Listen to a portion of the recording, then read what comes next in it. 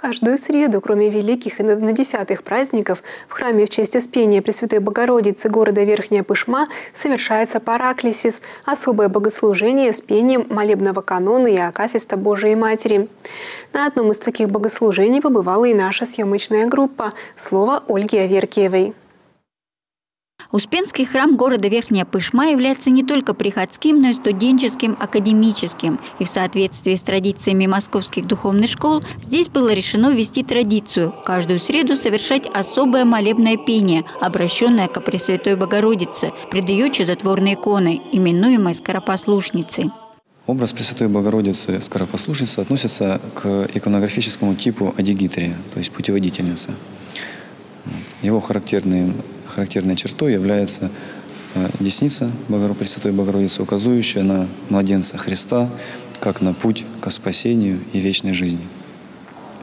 Образ Пресвятой Богородицы Скоропослушницы э, был написан на Афоне в эпоху расцвета монашества, примерно в X или XI веках, точно неизвестно. Изначально это была фреска, написанная в нише наружной стены пред входом в трапезную монастыря Дехиар.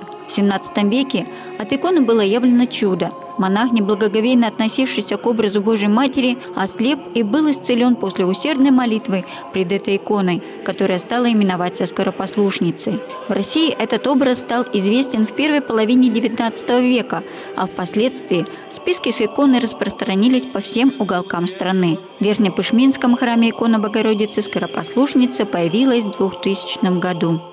Она была принесена в дар э, Андреем Анатольевичем Казицыным э, на открытие храма. Это 22 июля 2000 года.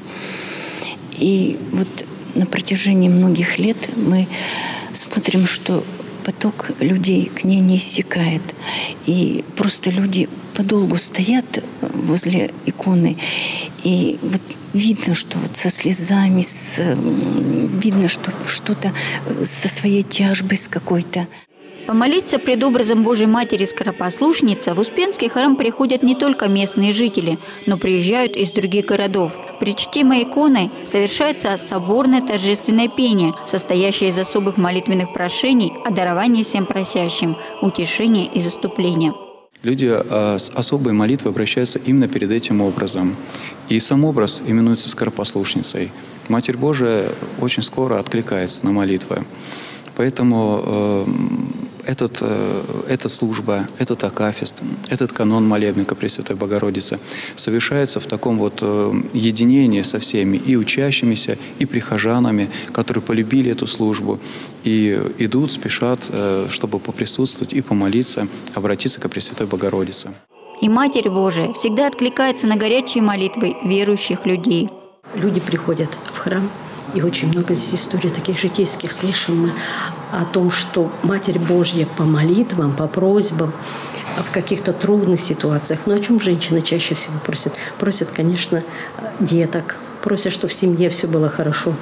Ну, я знаю много таких примеров, вот когда по просьбам, по молитвам женщин давались дети. Здесь была как-то женщина приходила, у нее ребеночек должен был быть, он оказался нежизнеспособен.